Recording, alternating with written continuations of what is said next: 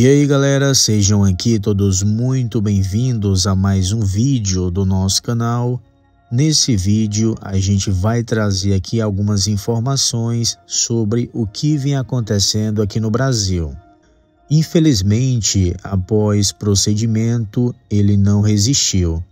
Chega agora comunicado de João Augusto, o filho de Gugu. Essas e outras informações você vai conferir tudo aqui no nosso vídeo. Antes de continuarmos, olha só galera, algo muito simples e importante que faz a diferença para o nosso canal e eu peço aqui para vocês é o like, se inscrever no canal e ativar o sino das notificações. O sertanejo Conrado anunciou na madrugada desta terça-feira, dia 4, a perda do seu filho Miguel, que havia nascido horas antes. O cantor e sua mulher, Ana Moraes, esperavam gêmeos. O irmão do bebê, Bernardo, passa bem. Isso aconteceu pouco mais de dois anos depois de um acidente com um artista que causou cinco perdas, inclusive a dupla dele, Alexandro. Ele diz: Você foi tão valente, meu filho, tão guerreiro. Seu pai tem tanto orgulho você me ensinou tanto em poucas horas sobre o amor, sobre respeitar as vontades de Deus, sobre aceitar que tudo é por Ele e para Ele. Acompanhei toda a sua luta, suas três horas de muita luta. Tive a honra de te dar uma bênção especial. Ah, meu anjo Miguel, olhe pelo seu pai e sua mãe, para que sejamos bons pais para o seu irmão Bernardo. Que Deus te receba com muito amor. Deus me deu, Deus tomou. Bendito seja o nome do Senhor. Vá em paz, meu filho. Te amo e te amarei para sempre, meu Miguel. Finalizou o sertanejo. Além dele, pessoal, a esposa, Ana, também deu detalhes do momento difícil que o casal está vivendo. Hoje é o dia mais importante da minha vida e também o mais triste. Ganhei e perdi um filho ao mesmo tempo. Como lidar? Ainda não sei. Gerar um testemunho dói, e como dói? Meu peito está dilacerado. Entender os propósitos de Deus é muito difícil, mas jamais perderei a minha fé, mesmo diante do luto. Eu tenho motivo para me sentir honrada pelo Senhor. É muito triste, né, galera? Até pra gente aqui do canal passar uma informação como essa, mas tem muitos fãs, né, do cantor e muita gente que estava torcendo para que tudo desse certo durante esse parto, né? Só que, infelizmente, um dos gêmeos não resistiu.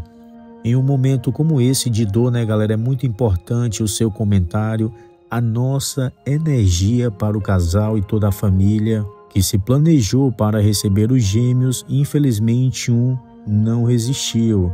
Aqui fica os nossos sinceros sentimentos ao cantor, a sua esposa e toda a sua família. Que Deus conforte o coração de todos. Deixe o seu comentário aqui abaixo e vamos à próxima notícia.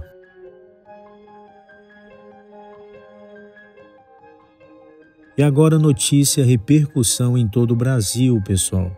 Um homem infelizmente nos deixou durante um procedimento estético na clínica da influenciadora digital Natália Beck. Ele aplicava o pene de fenol e teve uma parada cardiorrespiratória conforme a apuração do portal UOL. Ele aplicava o fenol e teve uma parada cardiorrespiratória conforme a apuração do portal UOL. O caso aconteceu no bairro Campo Belo, na zona sul de São Paulo. A vítima era do interior paulista e havia chegado somente para o procedimento. A polícia militar foi acionada para prestar apoio ao SAMU, pois a ocorrência foi dada como morte suspeita Natália Becker divulga constantemente o procedimento.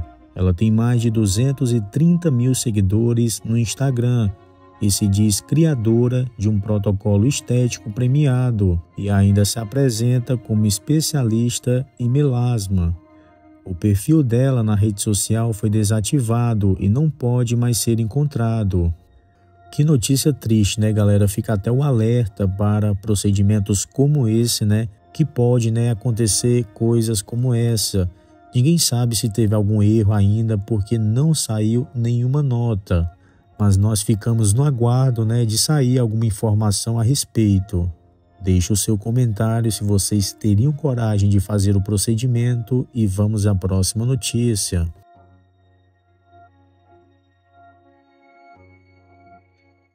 Desde a participação de João Augusto no Domingão com Hulk ano passado, que o nome do garoto, filho do saudoso Gugu Liberato, circula nos bastidores do SBT. Acontece que a emissora de Silvio Santos se animou com a possibilidade de contratá-lo.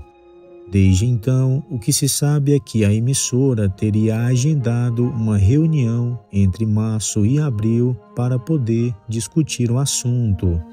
E agora, segundo informações passadas pelo jornalista José Armando Vanucci, o interesse do SBT em João Augusto continua de pé. A direção da emissora, inclusive, já teria sinalizado ao rapaz o interesse em contar com ele no seu time de contratados. O objetivo do canal paulista é desenvolver algo para João Augusto na sua programação mas isso pode acabar demorando um pouco para acontecer. Ainda de acordo com as informações, o nome do garoto já era mencionado no canal antes mesmo da nova grade ser definida. E vocês gostariam de ver o João Augusto seguindo os passos do pai como apresentador? Deixe aqui o seu comentário e até o próximo vídeo.